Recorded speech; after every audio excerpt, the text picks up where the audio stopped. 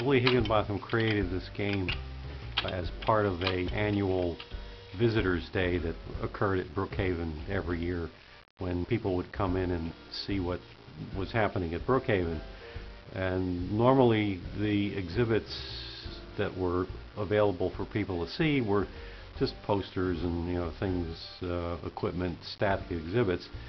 He wanted he wanted something interactive where the people would be able to to actually do something.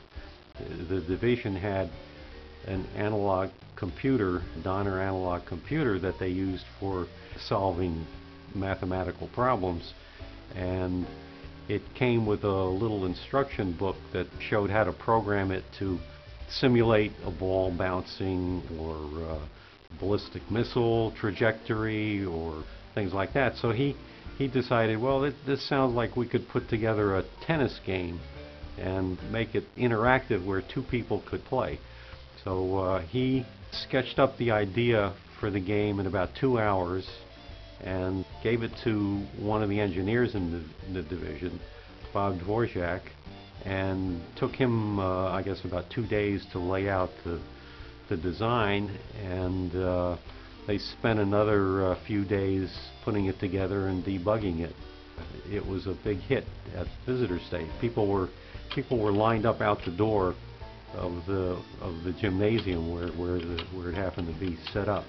Brookhaven was celebrating its 50th anniversary uh, in 1997 and as part of the celebration each of the divisions and, and departments in the laboratory was asked to come up with a, a project that uh, would be part of the celebration.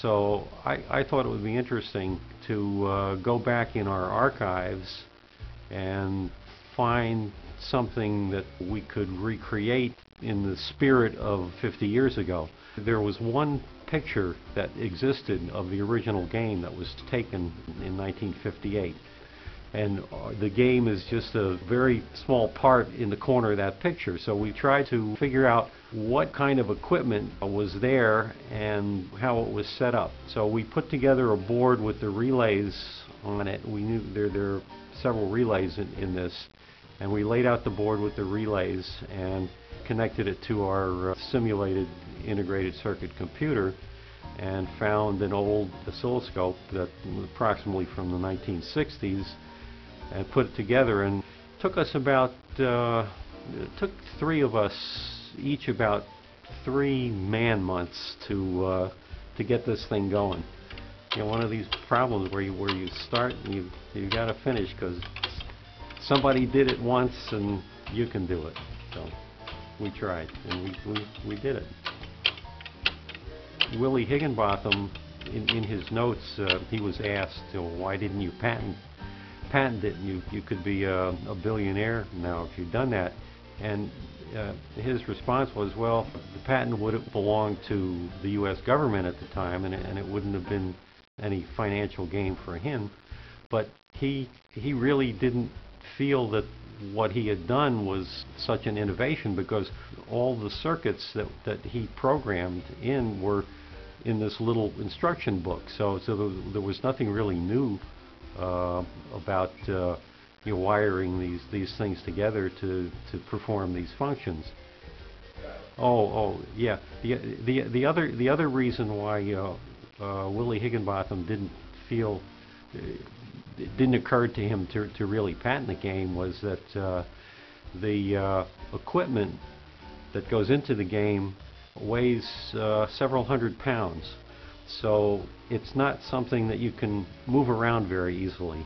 And in fact, to you know, to get it here, we had to load it in the back of a station wagon and and uh, and, and and move it.